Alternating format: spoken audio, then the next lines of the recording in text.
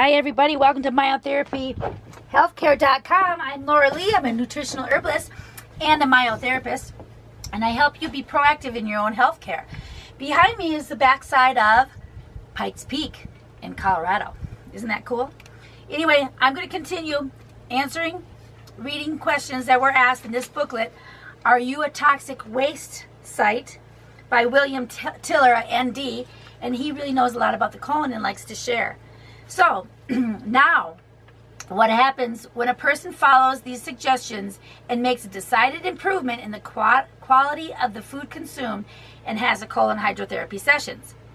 Remarkable things begin to happen to the body as well as the mind. The amazing intelligence present in every cell of the human body and the wisdom of the body in its operation immediately becomes manifest. When the quality of the food coming into the body is of higher quality and the elimination is improved, the body begins to discard the lower, lower grade material and tissue to make room for the superior material. This is the plan of nature. The body is very selective and always aims for improvement. What are the signs or symptoms when we first begin to admit toxins, substances, and begin to clean out our colon? When a regular diet of diet of stimulants such as coffee, tea, chocolate, and others are eliminated from your diet, some clients comment about headaches and letdown and sometimes even mild depression. This is usually when cleansing of the colon helps. That is why colon hydrotherapy is recommended with back to back sessions the first two weeks.